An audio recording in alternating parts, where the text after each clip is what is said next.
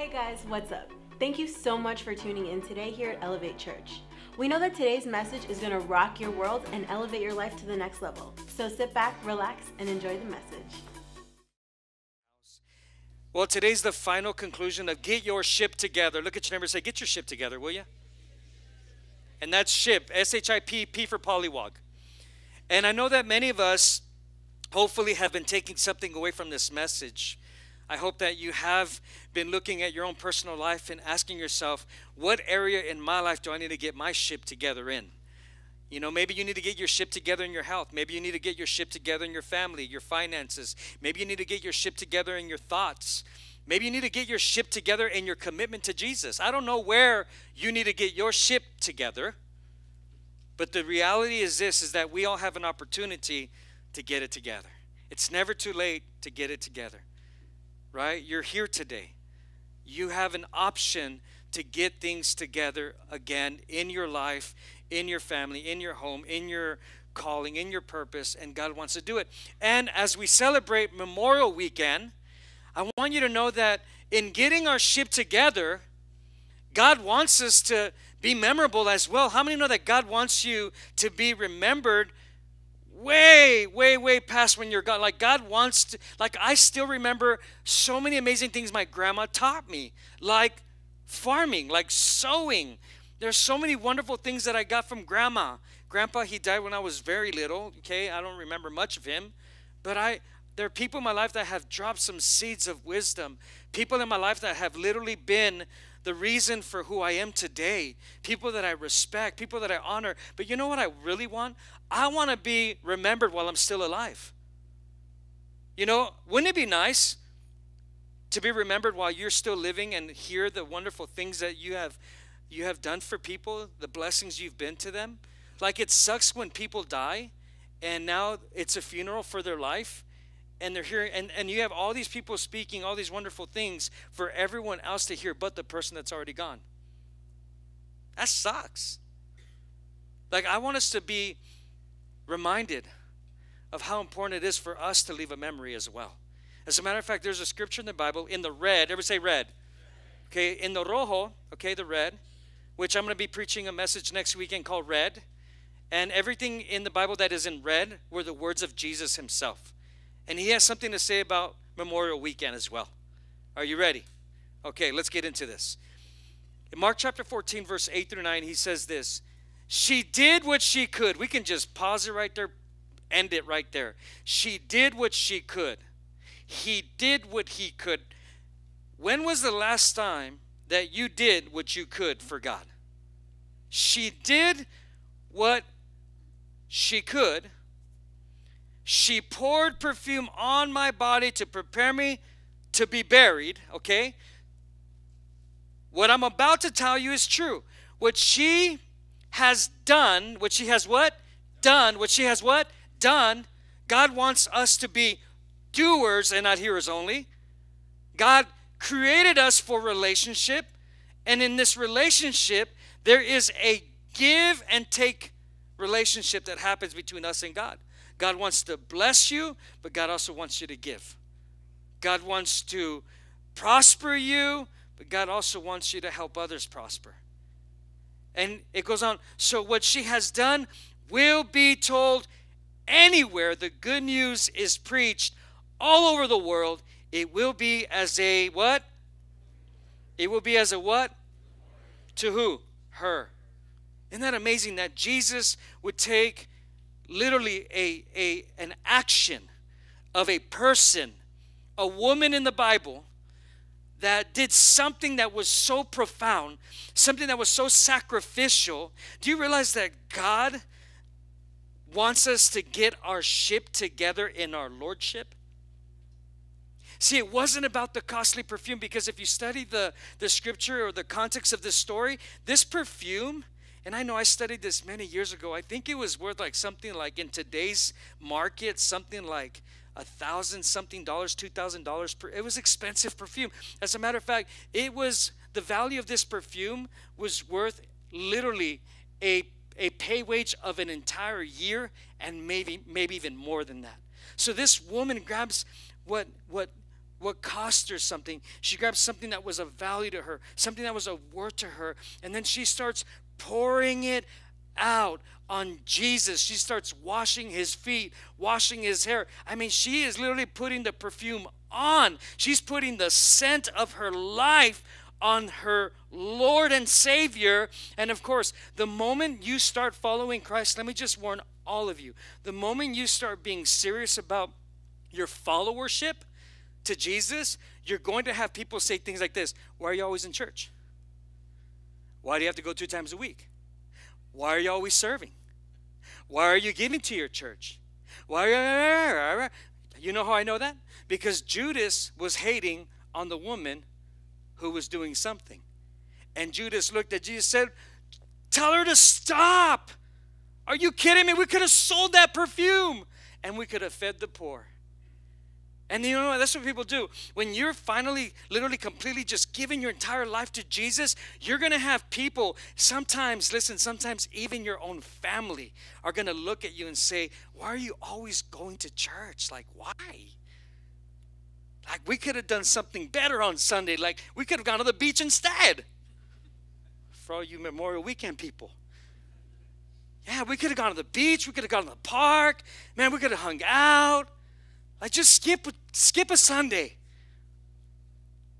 Are you guys are you guys sticking with me? So so it wasn't the perfume that got Jesus' attention from this woman. It wasn't the costly perfume either. You know what it was? It was her action and the lordship that she had for Jesus.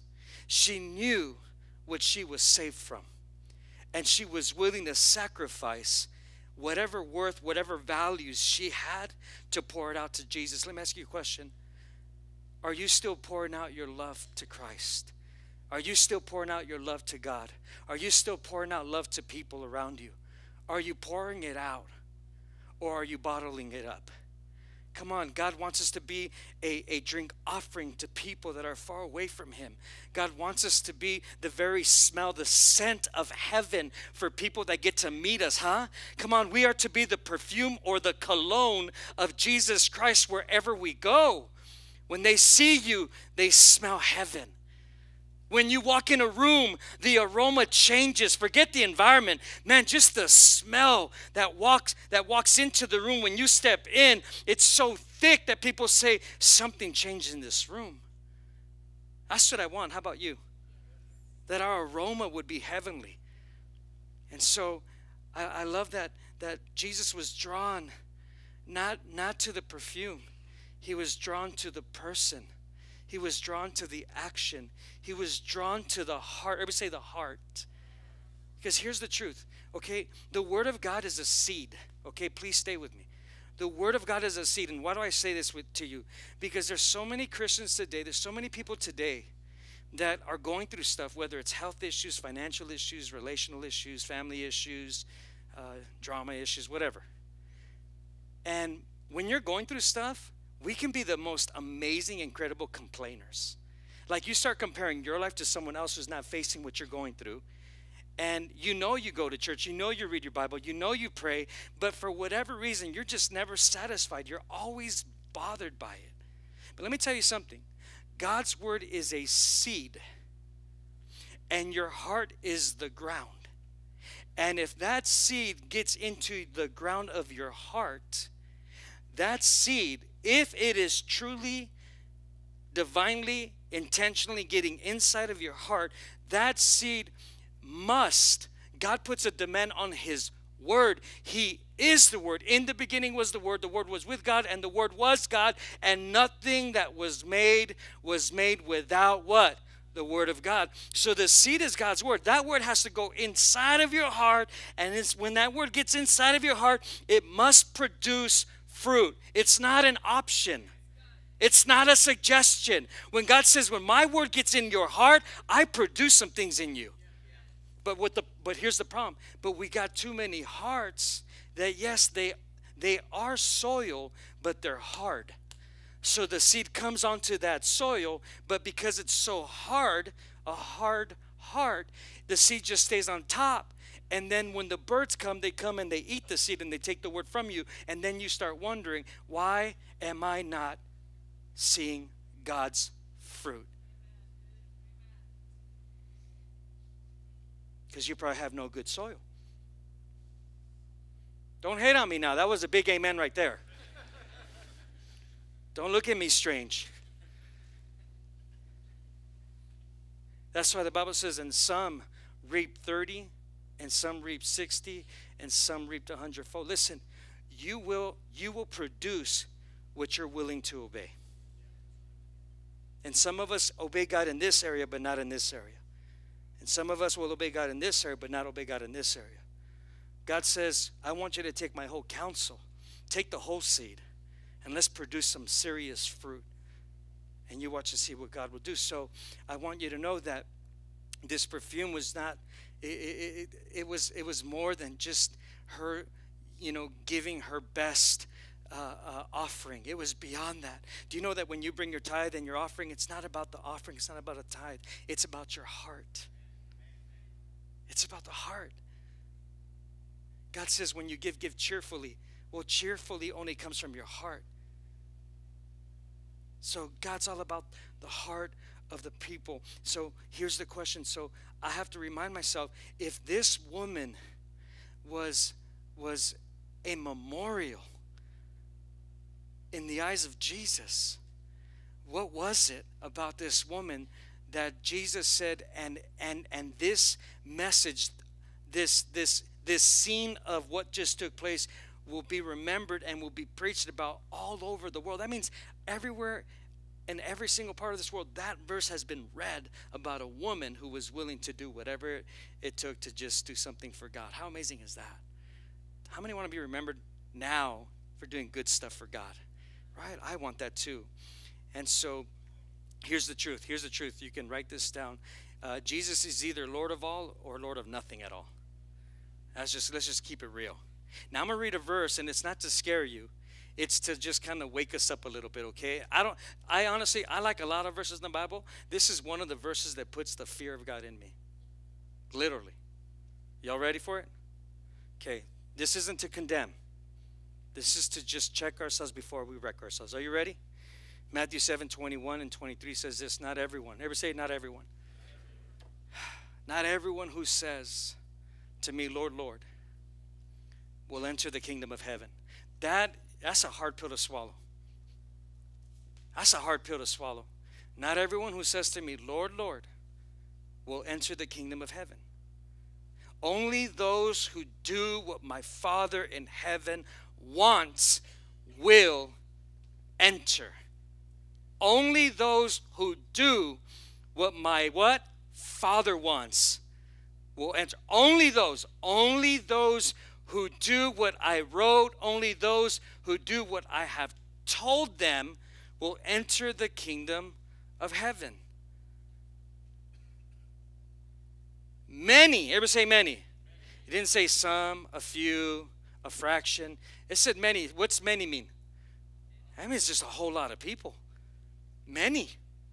Many will say to me on that day, Lord, Lord, didn't we prophesy in your name? Didn't we go to Elevate Church twice a month? Didn't we lift our hands when they said sing a hallelujah? Didn't didn't I I help out I Brew Life Cafe, help a child here and there? Didn't I serve in the church? Didn't I read my I mean we can just go oh, we can go through the whole list, right? And he says this, didn't we drive out demons in your name? Didn't we do many miracles in your name?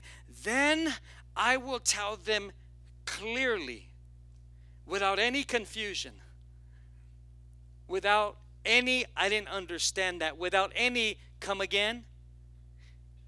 I never knew you. I never what? Knew you. So it's about relationship. It's not, it's not about, okay, let me go to church so I can feel better about myself. Let me go to church so that I can show my kids that this is what we do. We, we, we, we check off the church off the task list. No, God wants us to have an intimate, personal relationship with Him, with Jesus Christ Himself. He doesn't want us to be, you know, it's funny this week, and if you're here, don't worry about it. You can just wave at me. This week, I, I went out and uh, was having lunch with someone at, at a restaurant, And, and I was walking in, and this lady goes, Pastor. And I'm like, Sister. hey.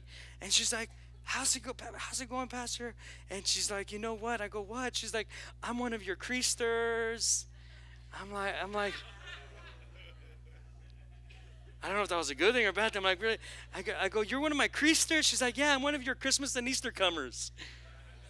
I'm like, I'm like, but you know what? I, I, did. I said that on Easter. I said I welcomed all the creasters back to church. I'm like, welcome, welcome back, because they all claim to be like we had like close to 1,500 people here at Elevate Church, and and listen, and they all claim most of them, 90% of them claim Elevate Church is their church home, but they only come on Christmas and Easter.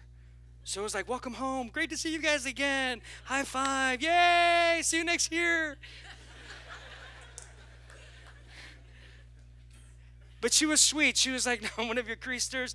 But she said, no, for real. She's like, I need to come back to church. I'm like, cool, I'll see you Sunday. And she's like, yeah, okay, I got to go now. I'm like, okay. Okay, didn't we do many miracles in your name? Then I will tell them clearly, I never knew you. Get away from me, who you who do what? Evil. And so you don't have to be the devil to do evil stuff. You don't have to be a demon to do demonic stuff. But I think all of us at some point have done something evil. All of us here. It, listen, when when when when you don't when you don't tithe, doesn't the Bible said, "Will a man rob God?" And how will he rob God? Who can rob God? Those who don't tithe. I don't want to be a robber, right? That's evil, right? Come on, when God says, and it's by the stripes of Jesus Christ that you are whole and healed, and we just keep going against the grain of what God already said, that, that can be some evil in there. Well how, well, how can that be evil? The evil can be the fact that you're not willing to just believe that God sent his only begotten son, Jesus, to die for you. And trust me, as I keep going, it's all going to come together. I'm going to wrap this baby up with a beautiful bow. Just pay attention. Evil can be you not being willing to forgive someone still holding on to resentment, still being angry about something that took place in your life. That can be evil. Nobody wants to hear that, but that's an evil heart. An evil heart is when we no longer allow the seed of God's word to come inside and begin to produce good fruit, and let's start killing the bad fruit. I know this is, it's, I know, I know, I'm trying. Okay, I want you to ask yourself a question. A hundred years from now, will it even matter that I was born? I want to ask you that. A hundred years from now, will it even matter that I was born? Will it matter that you were born 100 years from now? Would it matter at all? I mean, because Jesus is talking about a memorial. Our military didn't start Memorial Weekend, Jesus started Memorial Weekend. Jesus was the perfect example of giving his life sacrificially. Jesus was the perfect example how we lay our life down for others. And so, a hundred years from now, will it even matter that I was born? Will anyone remember you? Not for, wow, wasn't he a good fisherman? Wow, you know, didn't they have a beautiful big house? Wow, I remember doing a, a, a, funeral for a very prominent New York attorney. This guy was huge. And, uh, and they asked me if I can do the service, and I did it. And as I sat there and I listened to every person that walked up, all they talked about were about his attributes and nothing with his character. I was like, so I didn't even know the guy very well. You know what I'm saying? I went up there, I had to clean up all their mess. I'm like, okay, that's wonderful that he was a great attorney, you know, won many cases, but let's talk about the man now. He was a father, he was a husband. Wasn't perfect, obviously, like none of us are, but start trying to remember something good in this man's life. That's what God wants. In other words, are the things I'm living for worth Christ dying for? What are you living for? What are you living for?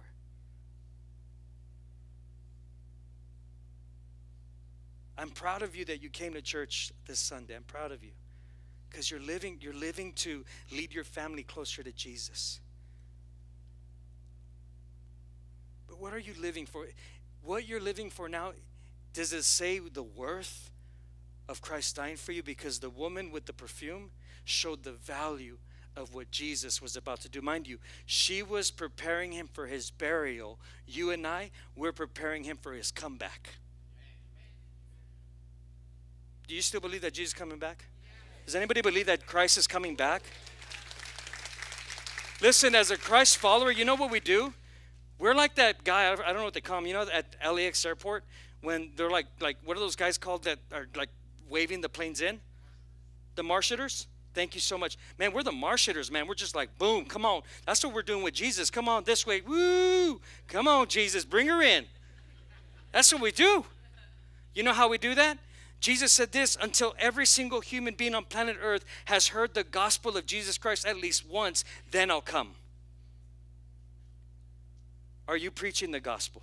Because the commission, not the suggestion, the great commission he gave every single one of us was to go into all the world and preach the gospel of Jesus Christ. So the only way that you can say, Yes, I am bringing him back, is if you're actually going out and winning souls. If you're not, then you're not bringing him back. Just let that simmer right there, okay? Add a little bit of oregano, some garlic, some Westchester sauce. Some of you are like, yeah, put in the Bud Light. Don't do that. Okay, here's a true story. So I was, just, I'm like, how does this connect with everybody? So I started looking for something that would be a little bit more practical. So the Guinness Book of Record. Have you guys ever seen some of those stories? Like this is the Guinness Book of World Records. And there was this one dude. I try to find something that would be like crazy out there. I think I found him. And this guy uh, has the record of eating glass, metal, and wood. Okay? Check this out. He's eaten 10 bicycles, a supermarket cart, seven television sets, but the most astonishing, you think they're like, oh my God. No, the most astonishing thing that he's ever eaten, like this is what he's remembered for in the Guinness Book of Record, World Record, is that he ate a Cessna light flying aircraft. He literally grinded the entire aircraft and mixed it in with his food and then ate this aircraft. And what's interesting is that this guy spent 15 minutes of his most famous moment of life eating a aircraft my only thought as i was finding this i'm like i wonder what it's going to look like when this guy stands in the presence of almighty god the one that we and you and i are going to call lord lord right and when the lord turns around with a gentle, loving, giving voice and says, Son, what did you do with the life I have given you or I gave you? What is going to be his response? I ate a plane. What's going to be your response? What's going to be our response? God is not asking you to have a pulpit ministry. God is not asking you to do something that brings recognition to you. You want recognition? Preach Christ. You want recognition? Win souls. You know what we do most of our life? We spend it complaining about what hasn't happened, what didn't happen, and what should have happened. And that is the distraction of the enemy who comes to drift us away, drift us away from the divine purposes of heaven. So, what happens? We abandon our lordship. We abandon our faith. We abandon our trust. We abandon our peace sometimes. All for what? Like, what are you going to tell God? I spent my whole life complaining about what you didn't do, God. I spent my whole life building my business, my app, my my medical career, my now listen, all that stuff is cool, but but God's gonna be like, hey, listen, um, all that gift, all that talent, I was free 99. I gave that to you. What I'm asking you is what did you do for me? I didn't ask you what I did for you. I know what I did for you. But what did you do for me? It's quiet up in this Presbyterian church. We could be Catholic today, I don't know. I love the Catholics and the Presbyterians, so don't write me an email. It happens. Everybody say this to me. Say, I belong to God because He created me. Okay? So if I belong to God because He created me, then here's the question then does the Creator not have absolute authority over His creation? Yes or no? Okay. If that's the truth, then we need to start obeying. Okay, let's go. Let me show you some verses to back up back this up. Deuteronomy 10:14 quickly. It says, "The heavens belong to the Lord your God, as does the earth and everything where in it. Everything. So look at your neighbor say, You belong to God whether you like it or not. Yeah. You do. I was on the radio this week, and uh, and and you know what? When you're on the radio, you got to be very careful what you say. But you know, I had to end with a bang. You know what I'm saying on the radio because it's kind of secular. And I said, you know what? Here's the deal. I said, for those of you that might be far away from God, here's the truth. You don't have to believe to belong to God because you belong before you ever believed. Because you're his son and daughter. You've just been far away and he's calling you back. And God wants his kids back. Amen? God wants his kids back. Okay, number, uh, or not number two, but uh, Psalms uh, 100, verse 3 says this He made us, and we are his, and we are his people. Jeremiah 10 23 says, A man's way of life is not his own. Huh? You're not the boss of you. You're not your own. You were bought at a price. Huh? Aren't you glad that he paid the bill? Look at this. No one who walks determines his own steps. Now, I get it. God wants us to enjoy our life. God wants us to enjoy the desires of our heart. But here's the deal you'll never know the desires of His heart until you know Him. If you don't know Him, you don't know what He desires for you. You only know what you desire, your flesh desires. Romans 14, 7, 8 says this For none of us lives to himself, and no one dies to himself. If we live, we live for the Lord, and if we die, we die for the Lord. Therefore, whether we live or die, we belong to the Lord. In other words, it's a win win. If I live, I'm His. If I die, I'm His. It's all good. I'm His. Isn't that a good thing? But here's what happens to us. Let me just do a quick drawing. So, this is what, what our life looks like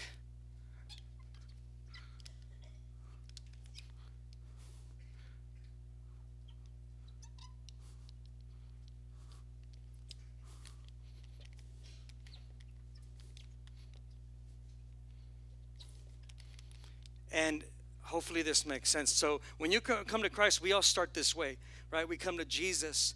But then there is a decision of whether he is Lord of all or Lord of nothing at all. And it's it's a decision that you and I have to make regardless of what you face. And so we start out here and we're happy, right? And we start climbing, but along the way sometimes what happens with Christians because they thought that once you became a Christian, that you should never, ever, ever, never have a problem on earth ever again. Like once you come to Christ, you should never be challenged in your health. You should never be challenged in your finances. You should never be challenged in your marriage. You should never be challenged with your kids. You should never go through any storm. You should never go through. It. That's a lie. It's we all will face stuff on this earth. Every single one of us. Nobody gets away. You you but you still have a decision how you're going to respond. And so what happens is when you he, Hebrews 11 6, 6 says this. It says um, he says, "But without faith it is impossible to please God. For he who comes to God must, it didn't say hopefully, must believe that he is God." Right? And that he is a rewarder. Ever say rewarder? Come on, anybody like rewards? And he's a rewarder. That's what that says, reward. He's a rewarder of those who diligently seek him. Diligently seek him. Diligently. I don't stop. I don't quit.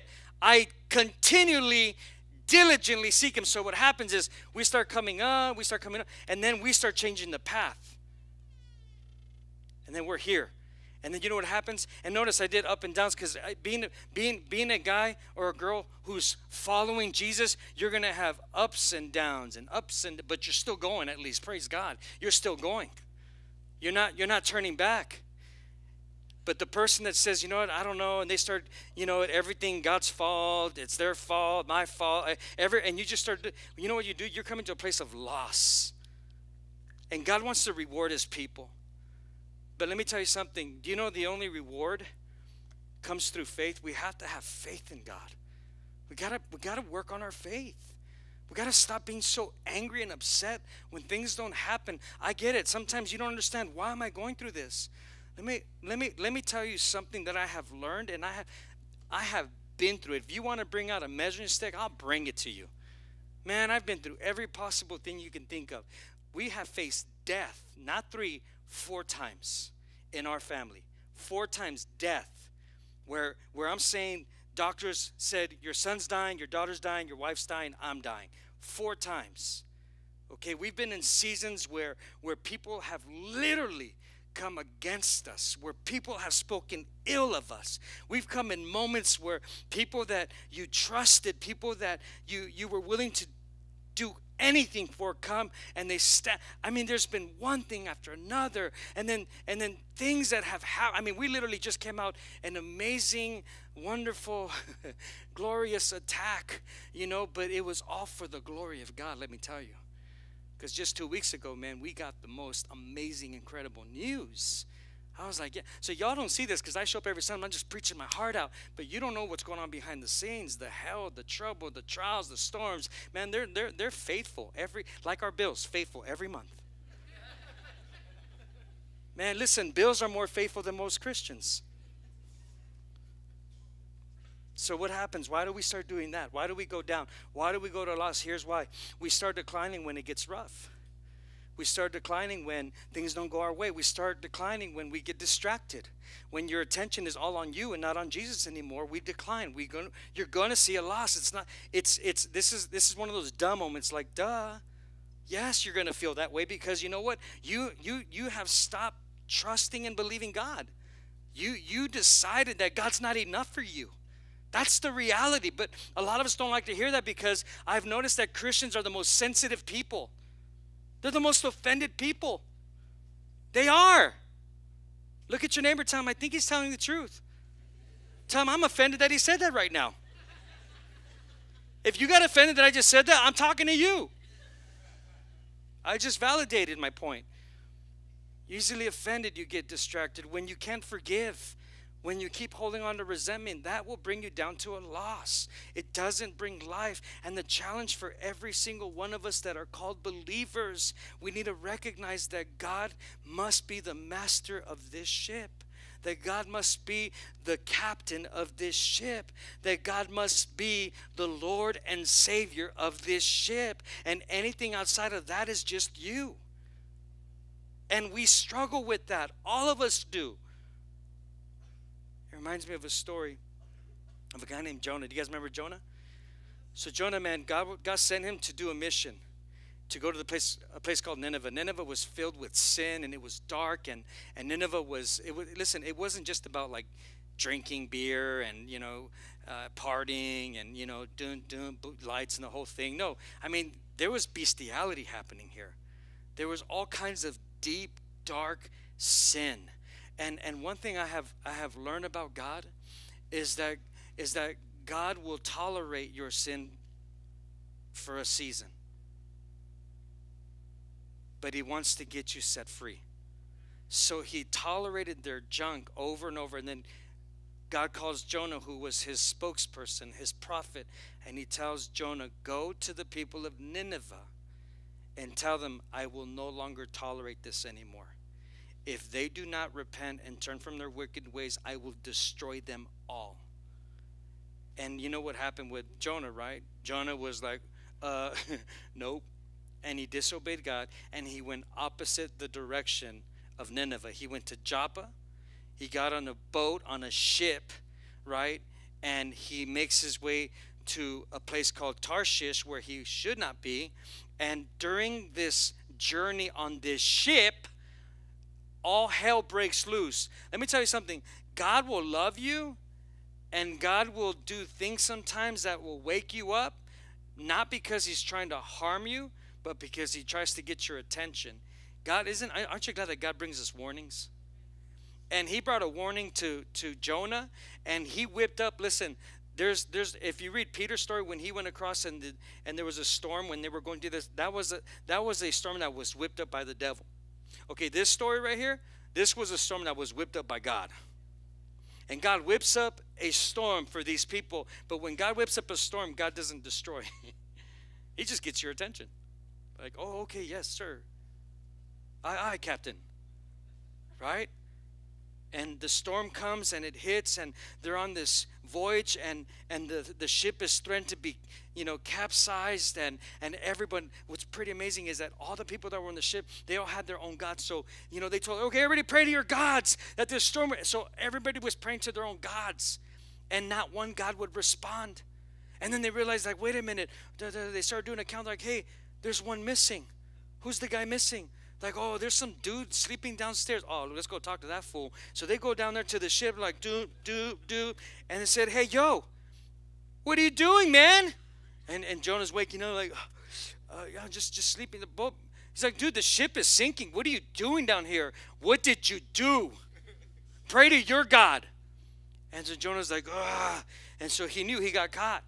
And so Look at Jonah chapter 1, verse 10 through 17. It says they found out that he was running away from the Lord. Anybody want to run from God anymore? Look, they found out that he was running away from the Lord, but that's because he told them, like, yeah, what's happening is that the reason that this ship is going down is because I'm with you. You know, there's two things to learn about the story. One is, is your own disobedience, but two, sometimes we bring the wrong people on our ship. Like you're wondering why you're not getting closer to God? That's because you got all the wrong people on your ship. You got all the wrong shipmates. And you need to overthrow some shipmates off the boat, right? Sometimes you're wondering, like, why? Why is everything falling apart? Why is this business not working? Why is it failing? Why aren't we prospering? Here's why because God says, do not be unequally yoked. You got to be around people that have the same faith, that connect, that are going the same direction. You can't be thinking that you're going to be a successful follower of Jesus Christ and you're still playing around with the wrong people. It ain't going to happen. So sometimes it, the reason that you're not seeing progress is not necessarily something that you did wrong. Sometimes it's because you have the wrong people on the ship. And when you got the wrong people on the ship, you ain't going to go very far. Do you need to take inventory or friend inventory and ask yourself, who's on my ship? On, look at your neighbor say, get your ship together.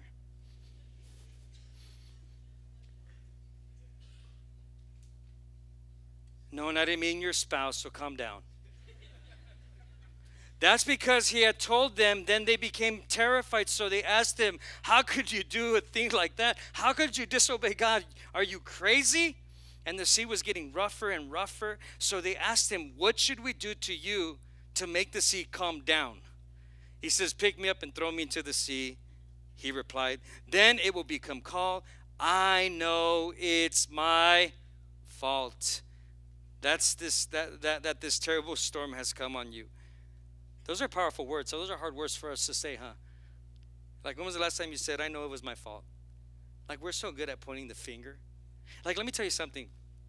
You know, Jesus in, in the Bible talks about people that are very religious.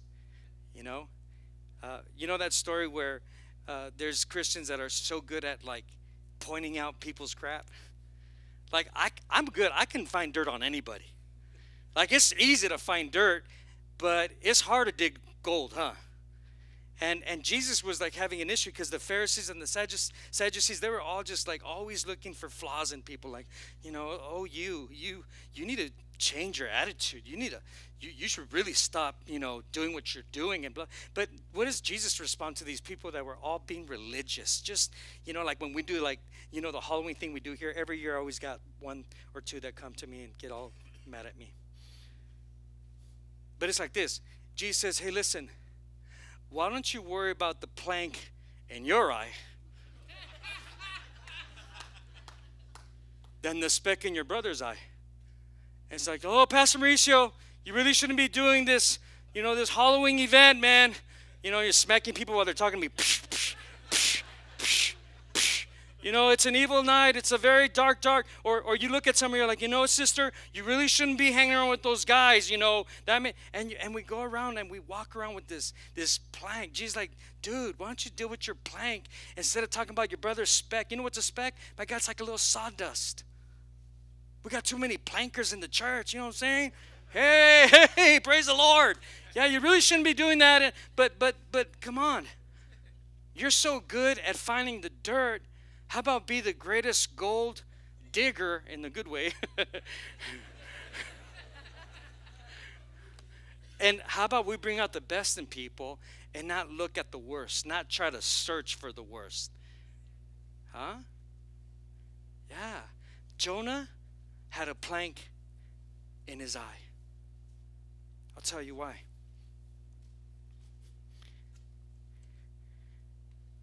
But they couldn't. The sea got even rougher. Then they cried out, Lord, they prayed, please, Lord, don't let us die for taking this man's life. After all, he might not be guilty of doing anything wrong, so don't hold us responsible for killing him. Lord, you always do what you want to do. Aren't you glad that God always does what he wants to do? Whether listen, whether you're on board or not, he's gonna do what he's gonna do. With you or without you. So you might as well start helping build God's house because he'll do it with you or without you. I want to be a part of with him. And the stormy sea became calm. Then the men saw what had happened and they began to have great respect for the Lord. Oh, I forgot. They threw him overboard. And then they offered a sacrifice to him and they made promise to him. You know what? Here's the quick question What ideas, what thoughts, what ideologies, what fears, what lies, what doubts, what unbeliefs do you need to throw overboard right now? What attitude do you need to throw overboard? What lack of commitment do you need to throw overboard? And I know that there's so many believers, wonderful people, but they lack commitment to Jesus. They just won't commit to Him. It's their way or the highway. When you stand before God, you tell Him that. Tell me how that's going to go.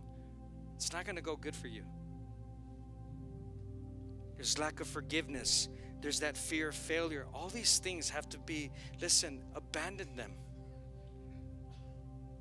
Throw that stuff overboard. And of course, we know that Jonah then makes it to Nineveh and he preaches after they threw him over, a fish eats him. He repents for three days, three nights, and tells God, You're so good, God. Forgive me. I was being dumb, goofy. And he just did that to get his way again. So the fish spits him out on the land. He goes there, and for 40 days, he preaches the gospel, everything God said.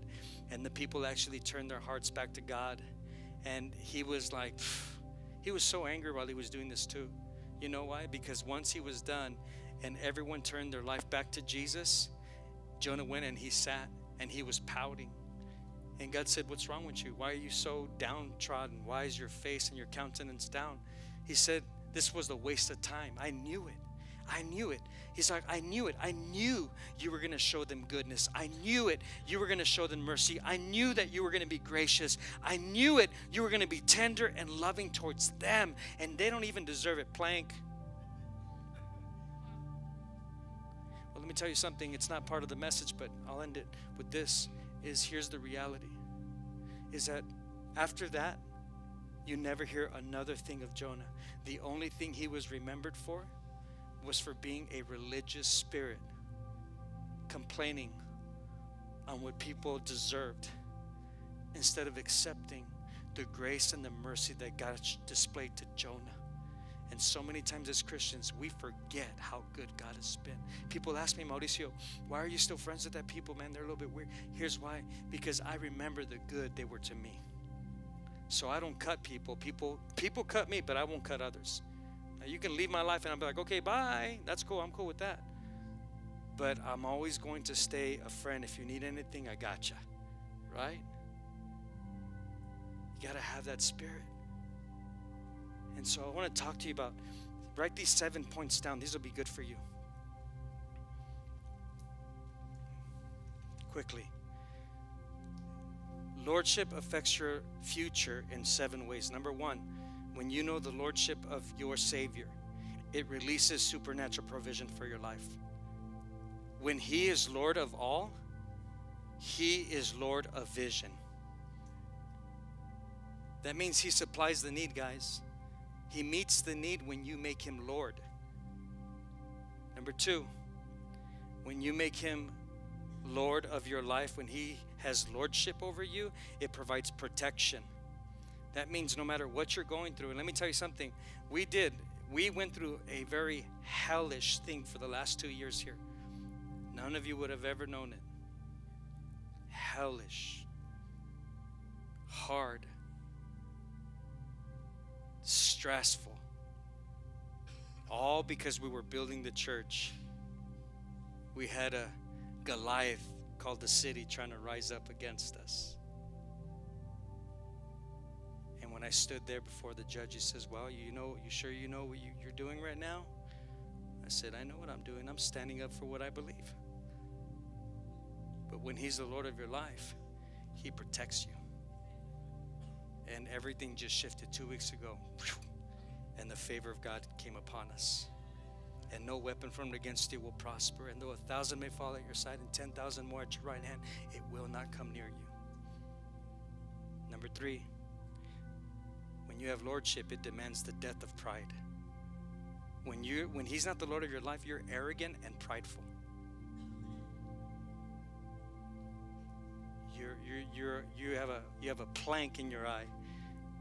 You don't like why do they have to do it that way? You start listen when you start the pointing of the finger, you're worse. Listen, you're as bad or as worse as the devil because in the Bible he's called the accuser of the brethren, and he does this. Put your finger down. Because if he's Lord, then he's Lord over your finger. Number five. No, number four, right?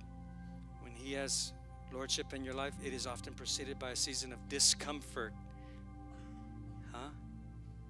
I, don't, I, don't, I feel so uncomfortable. Good. Now you're growing. But I shouldn't be feeling this. No, yes, you should. If you have no discomfort in your walk with Christ, I would question it and say something's wrong with you. You should be constantly uncomfortable with God, and God should be comfortable with you. I'll let that simmer too. Look, carne asada right there. Shh. Number five, Lordship releases the presence of God on your life. It releases it. You walk into a room, you change it. Smells different up in this place. I like this. When people walk into Elevate Church, I always say, they always say this. All new people say this. Man, you can feel the presence of God there. When you walk in a room, do people feel the presence or they, do they do they smell you? We need a heaven aroma, amen. Smell your neighbor. No, don't smell him. Just kidding. Number six, lordship prevents exposure to sinful situations and temptations you will encounter. When you when he's Lord over your life, man, he will expose it quickly and try to save you fast. But when you're filled with pride, you fall. Number seven, Lordship can help you to avoid future problems.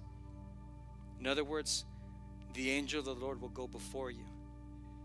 It's not that you won't have problems, it's that it can help avoid problems that are unnecessary that maybe you and I create. Amen. Close your stuff. I want to speak to people that don't have Christ. How do, how do I do that, Pastor? Three simple ways to surrender. If you've never given your life to Jesus, if you have just had religion in your life, if you know it hasn't been real, today you can get it right. Today. If it's just been kind of like, ah, no, today God wants intimacy with you. He wants to know you personally. You don't want him you don't want him to say to you, I didn't know you. Yeah, but I knew you. Yeah, God said, Yeah, you knew me because I was faithful. But I didn't know you. So, three reasons why you need to know Him. Number one, you surrender to Him because God is all wise and knows better than anyone else what is best for your life. He knows what's best for you. You don't know what's best for you. God knows what's best for you. Why? He created you. Number two, He is almighty and has the power to accomplish what is best for you. You can accomplish what you can in your own wisdom, your own strength. But let me tell you something you get linked up with God and you'll accomplish much more. I, I am a, I am a, I'm a standing example of that. From loser to serving Jesus with all my heart. I did more with him and I still do more with him. And number three, God loves me more than anyone else does. Listen, you may say, well, man, nobody loves me. Nobody understands me. Wrong. God loves you and God understands you. He knows you better than anyone. If you're looking for love, you know, well, I want my daddy to love me. I want my mommy to love me, and whatever. You know, people mistreated me. Okay, here's the deal people are people. People hurt. People have love, but it's it's conditional. God has unconditional love, and He never fails you, and He never leaves you, and He never forsakes you. So here's the deal if you're here today and you want to know this love, this Lord, this Savior who wants to lead you, guide you, and give you divine purpose, when I counted three, your hands will go up. At the 8 a.m., I was shocked how many people came to Christ. I know there's people s- sitting here today, and you know it's time. You've, you've had religion, you haven't had a relationship. You know it. You know it. Every eye closed, every head bowed, please, in honor of those who are going to receive Christ today. Listen to me. Stop going the opposite direction of God.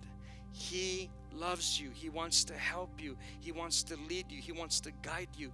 When I counted three, I want you to lift your hand and respond to heaven today because Jesus wants to enter your ship like a flood and he wants to set you on sail to his holy purposes. He's not looking for perfect, he's looking for a person who wants a relationship with him. Are you ready? If that's you and you're out there and you're saying, I want to know Jesus like that, at the count of three, one, come on, you're not afraid. Two, you're going to stop running from God and you're going to run to God today. One, two, three. That's you, lift your hand high quickly. High, high, quickly. I see all those hands in the back. Thank you. Lift it high, quickly. High. Leave it up. That's awesome. I see the hand too. Cool. You can put it down now. Awesome. Awesome. Awesome. All of you that lifted your hand, you definitely pray this, and everyone join with us. Let's all pray this. Say, Jesus, thank you so much for saving me and rescuing me from my deep sins, sins that were separating me from Almighty God. Today, I receive you as Lord of my life. I receive you in the ship of my heart. Today, I'm born again, filled with new life for your holy purposes. Thank you, Lord, for not giving up on me and quitting on me. In Jesus' name I pray. Amen. Awesome, awesome, awesome. For all of you that lifted your hand, thank you so much for being bold and for doing that at the end of the service. Please don't let this be just a moment experience. Let's make this a lifetime. Let's make this a journey. Let's make this a voyage. And we invite you to keep coming back, keep connecting with us, keep, you know, hearing God's word. And that word will change your life, it'll transform your life. If today's message impacted you in any way and you want to help us spread the gospel with a financial gift, text the number below. And we know that someone's life will be changed the same way that yours was today.